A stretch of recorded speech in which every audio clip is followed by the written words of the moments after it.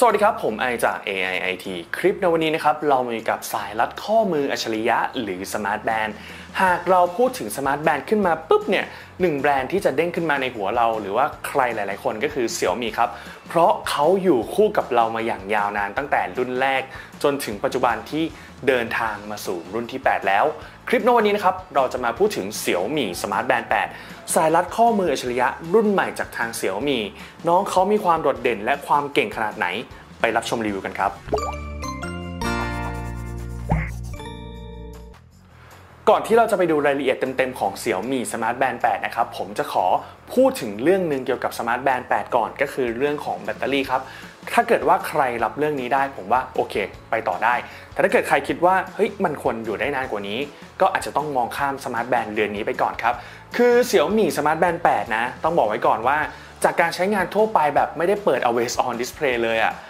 สามารถใช้งานได้ไม่เกิน 10 วันครับ จากที่เสี่ยวมีเคลมว่าเสี่ยวมีสมาร์ทแบนด์ 8 สามารถใช้งานได้ยาวนานสูงสุดคือ 16 วัน ผมทดลองใช้เป็นระยะเวลาที่นานพอสมควรก่อนทำคลิปเนี้ยคือไปไม่ถึงเลยครับ อยู่ได้ไม่เกิน 10 วัน แบบการใช้งานทั่วไปไม่ออกกำลังกายด้วยนะ แต่ถ้าเกิดเราออกกำลังกายนะครับอย่างเช่นออกกำลังกายวันหนึ่งอยู่ที่ประมาณ 1 ชั่วโมงนะครับจะกินพลังงานสามารถใช้งานได้อยู่ที่ไม่เกิน 5 วันครับอันนี้คือแบบการใช้งานทั่วไปไม่ได้เปิด always on display ด้วย แต่ถ้าเกิดเราเปิด always on display นะครับ การเปิด always on display ของ Xiaomi Smart Band 8 เรือนนี้นะครับ สามารถใช้งานได้ยาวนานสูงสุดถึง 6 วันครับ อันนี้คือการใช้งานแบบทั่วไปนะครับ ไม่ได้มีการใช้งาน hardcoreหรือนำไปออกกำลังกาย แต่ถ้าเกิดเราเปิดการใช้งาน always on display แล้วนำไปออกกำลังกายนะ ขอเตือนไว้ก่อนว่าต้องระวังแล้วก็คำนวณเวลาการใช้งานของเราดีๆหน่อย หากเราเปิด always on display และใช้ในการออกกำลังกาย 30 นาทีถึง 40 นาทีประมาณนี้ไม่ถึง 1 ชั่วโมงเนี่ยจะกินพลังงานเกือบ 20%ต่อการออกกำลังกายครับ สำหรับใครที่กำลังมอง Xiaomi Smart Band 8อยู่ แล้วแบตเตอรี่ทำได้ประมาณนี้นะครับ ลองไตร่ตรองคิดดูว่าเหมาะกับเราหรือเปล่า เพราะราคาณตอนนี้ Smart Band ก็ค่อนข้างที่จะสูงแล้ว เมื่อก่อนมันเราซื้อกันหลักร้อยใช่ไหมตอนนี้มันก็ขึ้นมาเป็นหลักพันแล้วอะ มันก็ค่อนข้างที่จะสูงนะ1,190 บาท กับ Smart Band เนี่ยผมว่ามันสูงเลยทีเดียวกับแบตเตอรี่ที่ใช้งานได้ไม่เกิน 2 อาทิตย์ ไม่เกิน 10 วันเนี่ยค่อนข้างที่จะเป็นอะไรที่ราคาสูงมากๆนะตอนนี้เลย ลองไตรตรองกันดูครับว่าเหมาะกับเราไหม ถ้าเกิดว่าโอเค เรารับได้ในเรื่องของแบตเตอรี่ เรามาดูเรื่องอื่นๆของ Xiaomi Smart Band 8 เรือนนี้กันต่อครับ Xiaomi Smart Band 8 นะครับเขามาพร้อมกับหน้าจอ AMOLED ขนาด 1.62 นิ้วครับ เป็นหน้าจอที่ค่อนข้างจะให้สีสันดีมากๆและมีความหนาแน่นพิกเซลของหน้าจอค่อนข้างดีเลยอยู่ในระดับ Retina Display ทำให้การมองรายละเอียดต่างๆ การรับชม การดู Data ต่างๆเนี่ยค่อนข้างที่จะคมชัดในการใช้งานในชีวิตประจำวันของเรา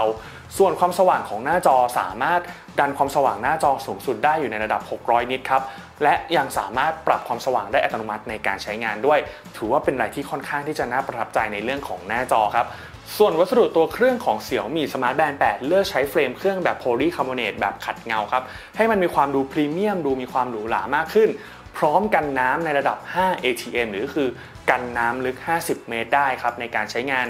ส่วนสายรัดข้อมือที่แถมมาให้ภายในกล่องนะครับเป็นสายแบบ TPU มีความยืดหยุ่นสูงครับก็สามารถใส่ใช้ในชีวิตประจำวันได้ค่อนข้างที่จะสะดวกคล่องแคล่วครับแล้วก็ไม่รู้สึกถึงความหนักหรือว่าล้าที่ข้อมือ เพราะว่าตัวสายรวมกับตัวเรือนสมาร์ทแบนด์เนี่ย ค่อนข้างที่จะมีน้ำหนักที่เบามากๆในการใช้งานในชีวิตประจำวันครับ เป็นอะไรที่สะดวกเหมาะสำหรับใครที่ต้องการความคล่องแคล่วความกระชับในการเดินทางหรือว่าการใช้งานนะครับ Xiaomi Smart Band 8ค่อนข้างที่จะตอบโจทย์คุณได้แน่นอน ปุ่มต่างๆของตัวเครื่องก็ยังคงไม่มีเหมือนเดิมครับ ทุกอย่างคำสั่งในการใช้งานทั้งหมดทำงานผ่านหน้าจอทั้งหมด ไม่มีปุ่มให้เรากดอันนี้มันเป็นความรู้สึกว่าค่อนข้างที่จะออกแบบ UI ได้พรีเมียมจริง ๆ คือ เราอยากได้ประสบการณ์การใช้งานที่แบบว่าไม่มีปุ่มกดเลยเนี่ย Xiaomi Smart Band 8ให้คุณได้แบบลื่นไหลสบายใจในการใช้งานเลยครับโอเคครับเรามาดูกันต่อในเรื่องของการวัดค่าสุขภาพที่ได้จาก Xiaomi Smart Band 8เรือนนี้กันบ้างครับ อันดับแรกเลยก็คือสามารถนับก้าวนับแคลอรี่ที่เราเสียไปได้ แล้วก็วัดอัตราการเต้นของหัวใจ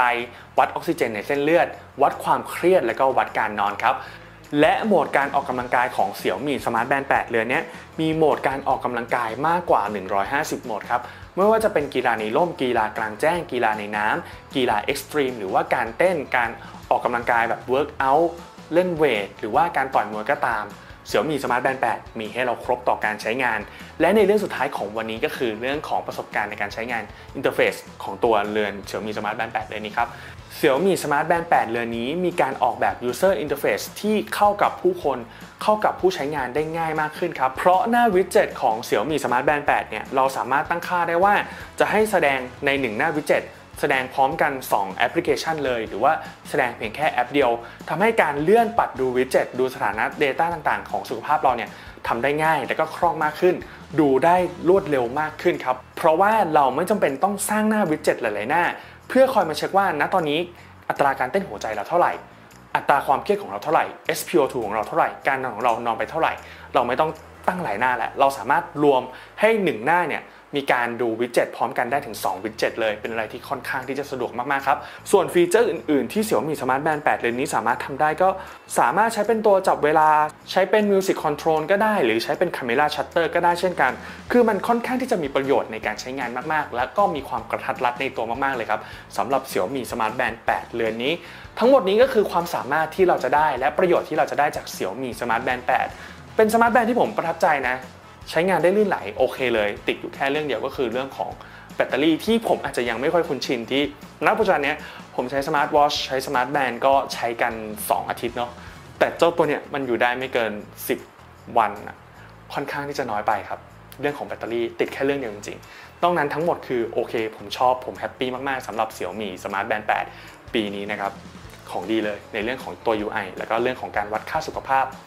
สำหรับคลิปรีวิว Xiaomi Smart Band 8 ผมก็ต้องขอจบลงไว้เพียงเท่านี้ครับ หากใครมีอะไรสงสัยนะครับ คอมเมนต์ใต้คลิป ผมจะรีบไปตอบทันที ยังไงก็อย่าลืมฝากกดไลค์ subscribe แล้วก็แชร์เพื่อเป็นกำลังใจให้กันด้วย